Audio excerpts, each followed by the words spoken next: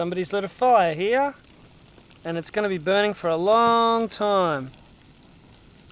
Firebugs. We don't like them at all. Just wrecks the bush. It's getting pretty bad over there. Oh, Monique, someone has been here. Look at the track cutting through the grass. There's a tree that's in the fire. Yeah, it's fine.